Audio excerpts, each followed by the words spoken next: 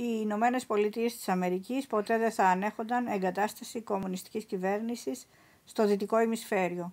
Όποιος Αμερικανός πρόεδρος αποτύχανε να αποτρέψει μια τέτοια εξέλιξη, θα απειλούνταν με καθαίρεση για απαράδεκτη παραμέληση των Αμερικανικών συμφερόντων και θα εξέπιπτε από το αξίωμά του, όπως ενημέρωσαν και τον πρόεδρο Κέννεντι ότι θα συνέβαινε αν δεν κατάφερνε να διώξει τους Σοβιετικούς πυράβλους από την Κούβα. Οι ΙΠΑ επίσης ε, γνώριζαν ότι τα ορυχεία χαλκού της Χιλής που αποτελούν τον μεγαλύτερο τομέα της χιλιανής οικονομίας ανήκαν σε αμερικανική ιδιοκτησία και αναπτύσσονταν χάρη στα επενδυμένα αμερικανικά κεφάλαια.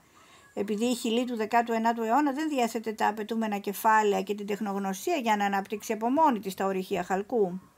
Υπό τον πρόεδρο Φρέι, η Χιλή είχε ήδη απολωτριώσει και καταβάλει το αντίστοιχο τίμημα το 51% της συμμετοχής στις εταιρείες. Οι ΙΠΑ φοβούνταν, σωστά όπως αποδείχτηκε, ότι ο Ολιέντε θα μπορούσε να απαλωτριώσει το υπόλοιπο 49% χωρίς να πληρώσει. Καλά συγκλονιστικό μιλάμε, ε. Και τον φάγαν λάχανο.